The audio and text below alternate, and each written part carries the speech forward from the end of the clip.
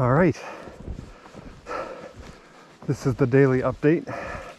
Today is February 25th, 2021 for the Unitarian Church of Lincoln. I'm the Reverend Oscar Sinclair.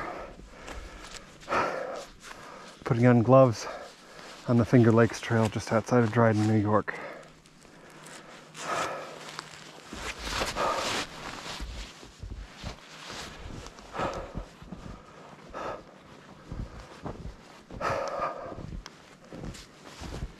And we're talking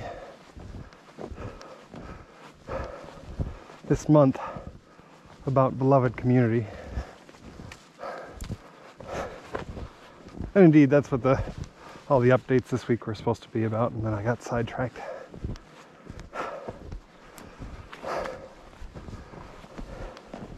Someone last Friday in the live daily update video that we did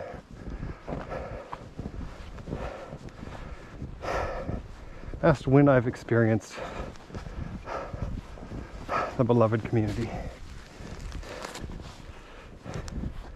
You know, this thing that we preach about and we say is way off in the distance,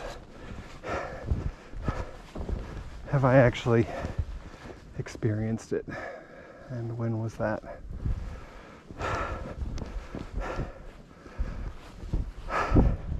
I think at the time I said something like the UU church where I was in the youth group when I was in high school was in Binghamton, New York, which is not far from where I am as I'm recording this.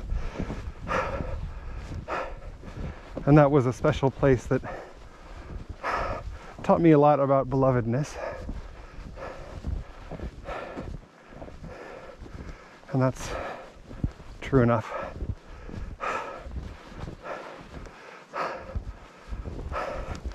There are also two other places that for me are what we've been saying all month is a sign and foretaste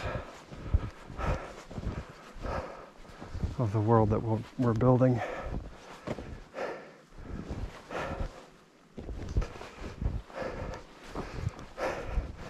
The first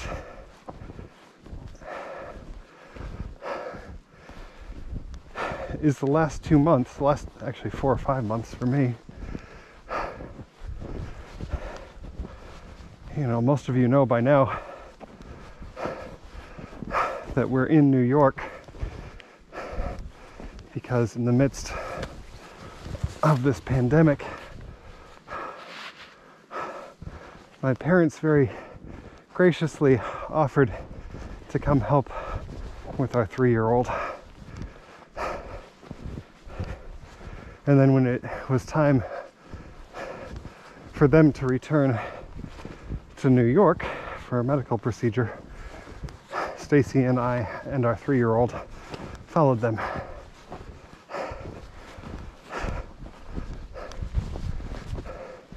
Because for us, we've been building this tiny little beloved community of five people you know, in some ways held together by a three year old who has no conception of any theology of belovedness or community or anything much beyond. I'm sure that these four people love me, and I'm sure that that toy is mine. That has held us together. And we've built something really beautiful together over four or five months. You know, it would not exactly come as a shock to most of the world that an intergenerational household might be a place to find belovedness and community. And yet, for us, that's one of the things that we've found, one of the things I've found in the last four months.